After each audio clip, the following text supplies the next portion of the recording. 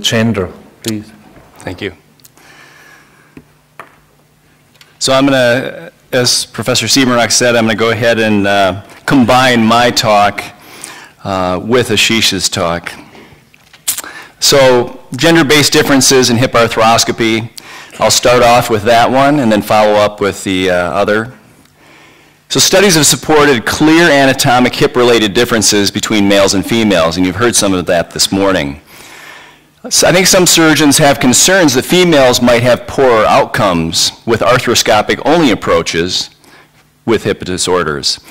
Uh, I think there's limited data with regards to gender-based outcomes when looking at hip arthroscopy. So the purpose of this current study was to evaluate gender-specific differences for a consecutive series of patients undergoing arthroscopic hip procedures with regards to anatomy, arthroscopic procedures performed, patient-related outcome measures, and then I'll also include an additional gender-based 3D CT volumetric dynamic impingement evaluation, another study. So this is a consecutive series of hip arthroscopies that were performed between January of 2011 and January of 2012. All hips were included in the final analysis. I will say that sometimes when you see these arthroscopic publications, if you look closely, a lot of things are excluded, which tend to make these results look better. So they exclude work comp. They'll exclude people with significant degenerative changes, revision cases. So we included all patients in this study. There were 208 hips in males and 172 hips in females. There were no significant differences with regards to gender for mean age. Preoperative plain radiographs were evaluated for alpha angle on the AP and lateral radiographs, evidence for pincer type FAI, dysplastic features, and subspine impingement.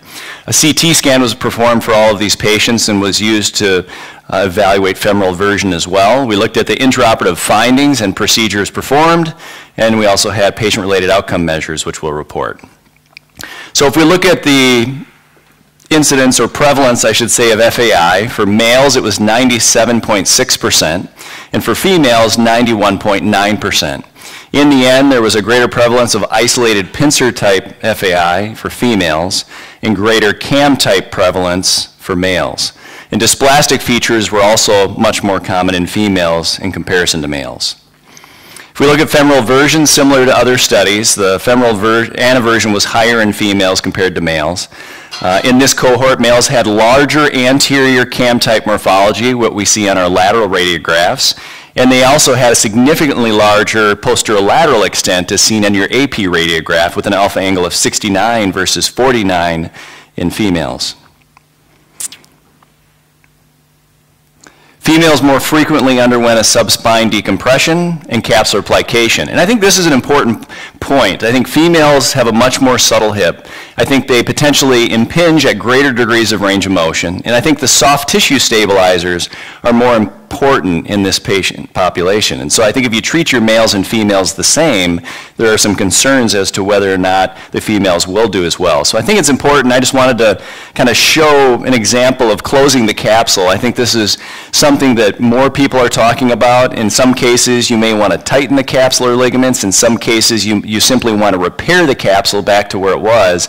When I make a capsulotomy, I simply make an interportal cut. I don't make an additional T-cut. This is a right hip, and you can see the first two sutures, which are, which are number two non-absorbable sutures, are passed into the more lateral capsule. And then I reposition this cannula, and if you do arthroscopy, this cannula is coming through the anterolateral portal. I position it more anterior, so essentially you're closing your way out of the hip. And it's very subjective with regards to is the capsule loose, is the capsule normal, but it's something you get a sense for over time. And, and in pretty much all cases now, and in particular for females, we'll use four to five sutures to again repair or even plicate the capsule. So you can see now I'm just left with a small little window at the most anterior aspect of the capsule, and then we'll, we'll pass that last suture uh, we first pass a monofilament suture from one end to the other and then replace this with that non-absorbable number two suture. So again, I think when you're looking at studies, just seeing the results in, in, a female or in a population is not really enough. You really need to know what is that particular surgeon doing and how are they managing this hip. So now at this point, as we, as we put that last suture in, you can see we've pretty much completely closed the interportal cut. There were no gender differences for the rates of femoral resection or rim resection, which is interesting. Labral repair rates between males and females was the, the same, 76 and 77 percent, uh, and debridement of the ligamentum teres was similar. A mean follow-up was 26 months. Our modified Harris hip score was not statistically significantly different between males and females. I will say the females start out with a lower score, which is consistent with the literature. They tend to improve to a greater degree, although it was not statistically different for the modified Harris hip. It was for the SF-12 and the VAS scoring. But in the end, their scores were not statistically different. So when we talk about gender-based outcomes after arthroscopic hip preservation surgery, Here's a study done by uh, Bryan Kelly's group. They looked at patients between 18 and 30 years of age and basically tried to define these hips, saying that the females had smaller alpha angles, they had subtle cam deformities, females had increased acetabular anteversion and increased femoral anteversion. Another study out of uh, Rush by Shane Nho looked at 138 three-dimensional CT scans, all underwent arthroscopy. Females had greater femoral anteversion, males had larger diameter femoral heads.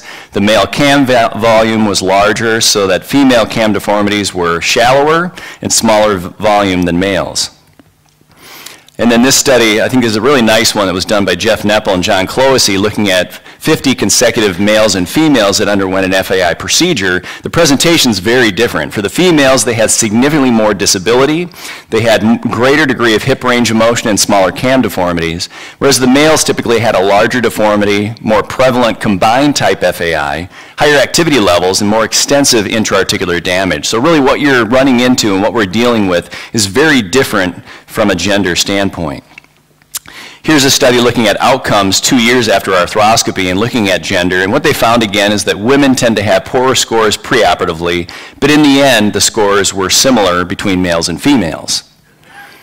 So I think based on our study, FAI is more prevalent in males undergoing arthroscopy based on the radiographic measures we have. Interestingly, there was no difference in the rate of femoral resection or rim resection. So that might indicate that FAI for females is subtle, may represent higher range of motion impingement compared to males, and may be confirmed better at the time of surgery than based on our radiographic evaluation. Or alternatively, our radiographic evaluation is incomplete or substandard. And I think sometimes offset is a better way to look at female proximal femurs, whereas the alpha angle is appropriate for, for, for males. And so I think you really need to look at this complex morphology, not only on the femoral, but the acetabular side and how it all fits. And I think it's more complicated for females, in my opinion. Males undergoing arthroscopy had larger cam-type morphology, a greater posterolateral cam extension, and greater prevalence of cam impingement. Females undergoing arthroscopy had a greater prevalence of dysplastic features, isolated pincer-type FAI, subspine impingement, and capsular laxity or plications. Hip surgeons, I think, should recognize, respect, and manage these unique gender-based pathologies. Females have lower preoperative patient-related uh, outcome measures compared to males. Current and other studies have shown improved outcomes post-arthroscopic FAI correction without gender-based differences. The outcome scoring improvement, however, greater for females. And I think that in order to have that improvement, you need to address this high range of motion impingement, which I think takes place a little bit further away from the joint, up on the subspine area, more distal on the femur. And I also think you need to recognize soft tissue preservation and stabilization. And again, I'm not talking about osseous instability, I'm talking more about soft tissue instability. So what about some other recent, moving on to the next talk, uh, CT, cadaveric, anatomic, gender-based FAI studies. So here's a recent study looking at 326 femur specimens. These were in a Mexican population, showing that cam deformity was present in 35% of males and 23% of females. Uh, the prevalence of cam deformity was greatest in your young men or middle-aged older females.